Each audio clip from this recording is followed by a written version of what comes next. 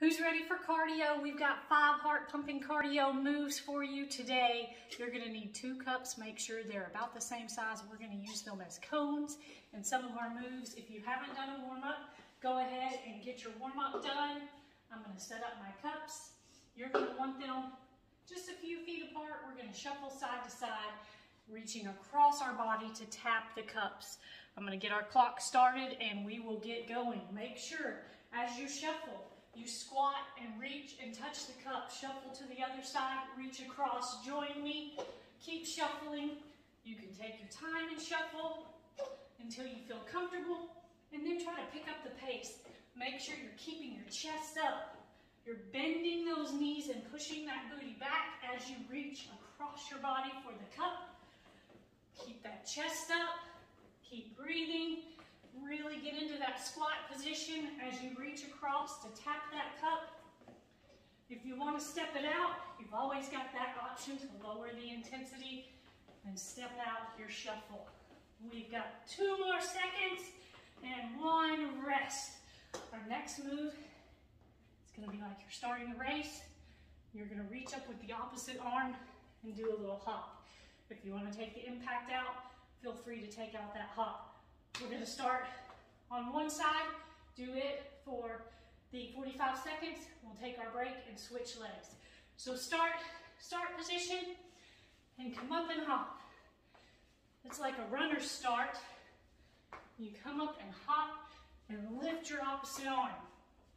Raising your arms above your head during a workout really helps get that heart rate up.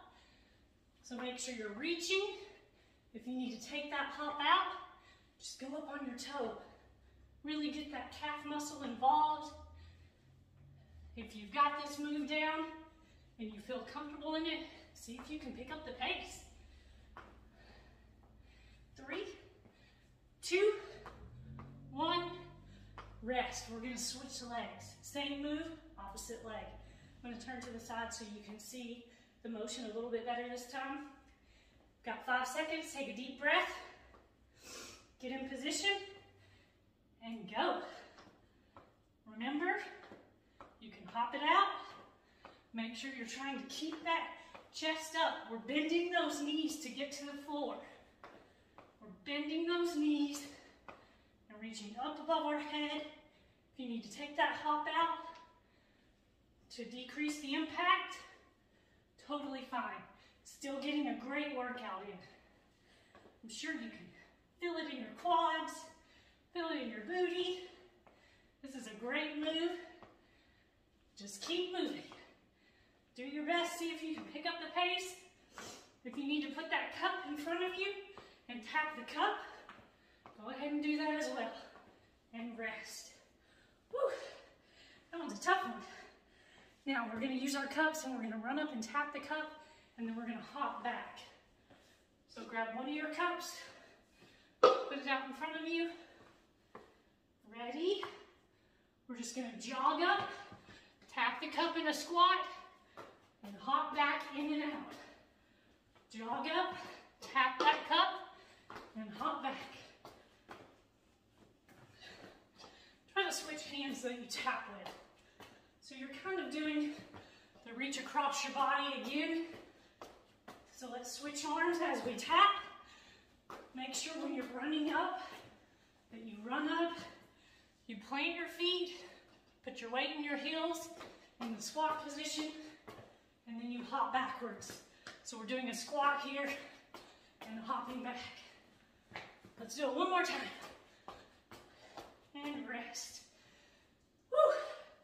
This cardio workout's getting me. Our last move. Love this move. It is a skier hop. You can use the cups on either side. You can tap those cups. If you want to up the intensity, you can tap the floor.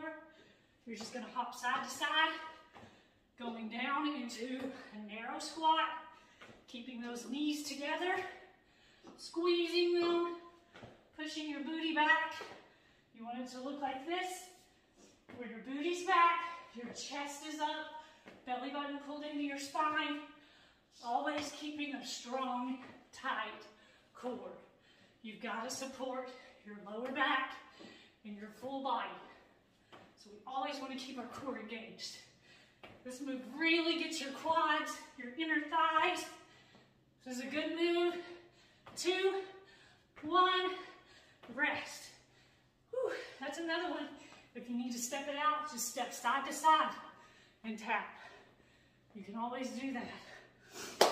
That was a great cardio workout. I hope you enjoyed it. Remember, remember to get in a good cool down. Walk around, let your heart rate come down. If you want to stack another workout on top of it, go look for another one of those five minute home body workouts and make sure you enjoy your day. Have a good one.